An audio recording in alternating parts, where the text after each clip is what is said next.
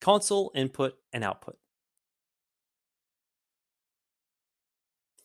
Every program has three main phases. First, input data is given to the program. Second, the data is processed. Third, the data is output in some way to the user. The inputs and outputs are how we connect programs to the real world. Think of it like baking. The inputs are your ingredients, mixing and stirring are the processing, then the cake is your output. Examples of input are data typed by a keyboard, movements made by your mouse, data from the internet, and data from sensors. Examples of output are pixels on your screen, paper out of your printer, or the movement of a robotic arm. Computers take in data from users and put out results. In order to transform the inputs into the outputs, we write instructions as code. The instructions that we write are often stored in a program so that they can be reused.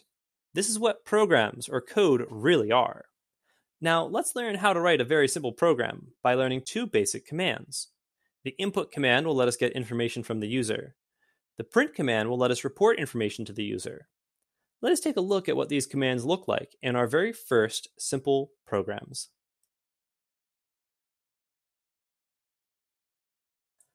The print function lets you write information to users. Printing is necessary because we cannot see inside the mind of the computer when a program runs. For now, the only thing we end up seeing is the result of whatever we print. Notice that there is some text between the parentheses. This is the text that is output to the user. You can try running this program to see the messages printed on the console. You can think of the console as like a messenger box for sending and receiving data to and from the computer.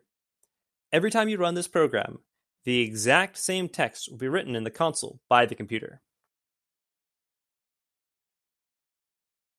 The input function lets you get information from users. Notice that once again there is text between parentheses, asking for their favorite color. That text will be shown as a prompt to the user in the console. The user will be able to type their answer and press enter. On the second line, we have used the print function to print out that same information.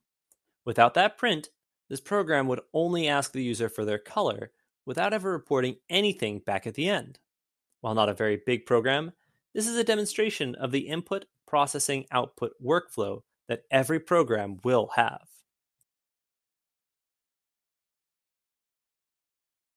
The goal of any program is to transform the inputted data into the desired outputs.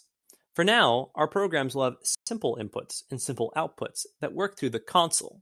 But eventually, we will create complex code that can achieve great things. For example, you could have the user speak into a microphone with their instructions translated into the movement of a robot, or have the user input recent weather data in order to create the output of future weather predictions.